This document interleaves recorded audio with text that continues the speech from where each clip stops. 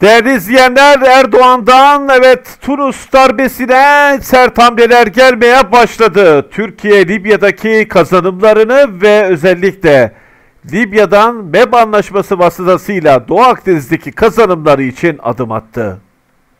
Türkiye, Libya'daki başbakanlıkla devamlı temas halinde. Özellikle Tunus'taki darbe direkt Libya'yı etkiliyor.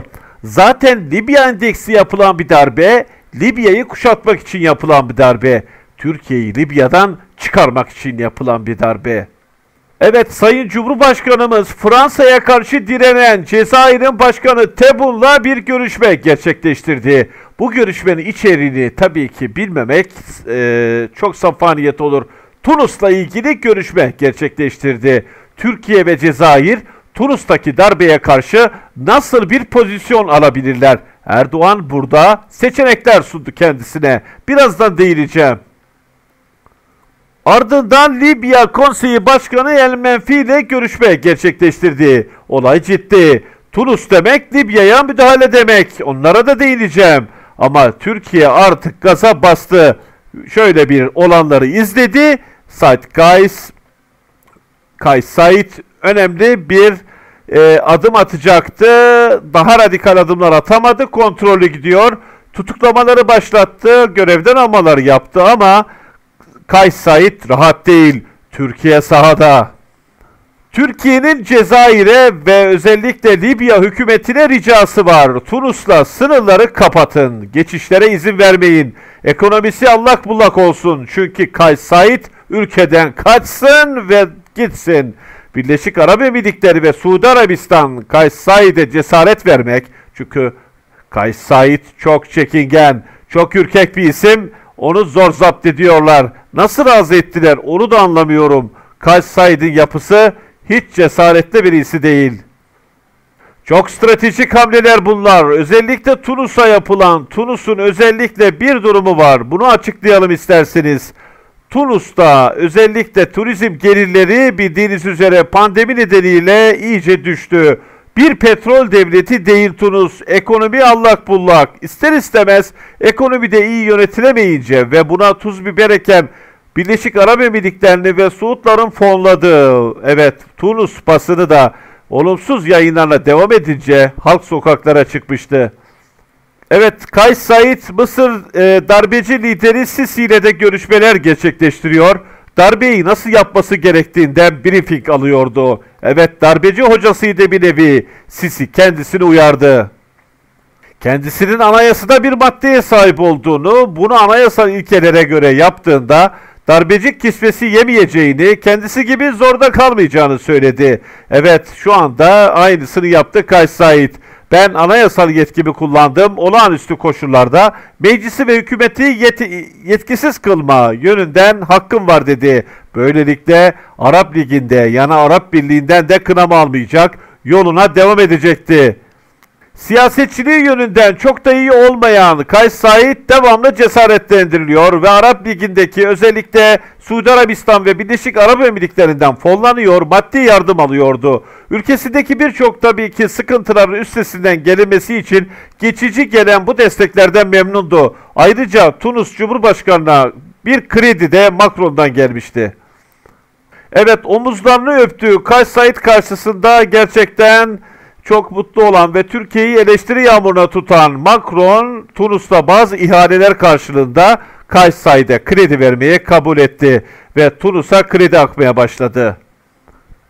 Bunun sonucunda özellikle Birleşik Arap Emirlikleri ve Suudi Arabistan'da Kays Said'i hem medya alanında fonluyor, onu parlatıyor, Başbakanlığı ve Nahda Harekatı'nı, Garnuşi Harekatı'nı eleştiriyordu. Darbenin daha önceden planlandığı ve halk gösterilerinin özellikle yapılmasını beklendiği, medyanın da bu yönü şişirdiği ortada. Birleşik Arap Emirlikleri'nin bu yönde özellikle kukla isimlerle medya ve bazı sivil toplum kuruluşlarında satın alarak Tunus'taki bu darbe girişimini meşru, atma, meşru gösterme çabaları devam ediyor. Buna karşı Garnuşi ve Nahda Harekatı da buna karşı direneceklerini belirtmişlerdi. Kays Said ise bildiğiniz üzere tehdit etmiş ve karşı çıkanları Özellikle bu kararlarıma karşı çıkanlar askeri kuvvetlerle karşı karşıya kalacaklar ve kan dökülebilir diyerek tehdit etmişti. Ve biz de yalnız değiliz diye aslında arka plandaki kendisini yönetenleri dişifre ve ifşa etmişti. Garnuşi ne diyor? Garnuşi çok öfkeli. Ama işin önemli tarafı, işin en stratejik tarafı şu. Gays Said özellikle Birleşik Arap Emirlikleri ve Suudi Arabistan'dan fonlanıyor. İsrail'in hoşuna giden politikalar giden bu ülkeler fonluyor. Ama Kays Said bu süreci yönetebilir mi? Bizim için umut dolu olan kare bu. Yani Erdoğan'ın Cezayir'e ve Libya hükümetine sınırları kapatın, nefes alamasın Kays Said. Birkaç ay içinde gitmiş olabilir dediğini düşünüyorum. Evet bu konuyla alakalı kuvvetli bir hissim var. Çünkü darbecinin orada olması Türkiye'nin Libya'daki çıkarlarına olağanüstü ters bir şekilde Mısır evet darbecilerin eline geçince Akdeniz'de neler yaşadık, hangi sıkıntıları yaşadık çok iyi biliyorsunuz. Bu sefer Mısır'daki durum bilinince buradaki darbe girişimine karşı kuvvetli bir direniş ve yeniden halk hareketi olan Nahta'nın da kuvvetli olduğu bir hükümetin gelmesi gerekiyor. Evet Gannuşi muhalefet lideri Gannuşi artık bu konuya resmen çizgiyi çekti. Biz direneceğiz. Özellikle başbakanları da dedi ki Türkiye başardıysa biz de başarırız. Bu gerçekten o bölgede bir test. Eğer Tunus düşerse gerçekten üzülerek söylüyorum Libya düşer.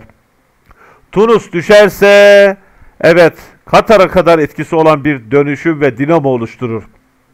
Bizim için çok önemli. Halk da orada darbecilere karşı bu isimleri desteklemek ve Cezayir'in ve Libya hükümetinin el birliğiyle Tunus'taki bu darbe girişimini yapan sayıda sırtını dönmesi, Türkiye'nin agresif bir tutumla Tunus'u baskı altına alabilmek için her adımı yapması Kays Said'in çöküşünü hızlandıracaktır. Kırılgan, ürkek bir yapıya, korkak bir yapıya sahip olan Kays Said de koltukta fazla oturamayacaktır. Evet birkaç yıldır planlanan Bae darbesi bölgede şu anda dengelerin yeniden Bae ve Suud üçlemesine, Mısır üçlemesine dönmesini gerektirecek bir adım. Bu da tabii ki küresel güçlerin aparatları olan bu ülkelerin şu anda daha da şımarmalarına yol açacak. Türkiye, Libya'da nasıl bir sürpriz yaptıysa Tunus için de bu yönde demokrasiyi güçlendirmek ve muhalefetin elinden alınan imkanları yeniden teslim etmek adına bölge ülkelerinin Kaysayt üzerinde bir baskı oluşturmasını yürütecek.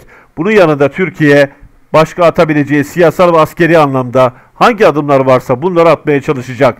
Tunus'ta bir oldu bitti bizim Libya'daki askerlerimizin hepsinin güvenliğinin tehlikeye gitmesi, Vattiye üssünün tamamen tehlike altında kalması demek. Hatırlar mısınız? Tebun vardı. Libya Cezayir Başkanı Tebun demişti ki Hafter Trablus'a girerse biz oraya müdahale ederdik.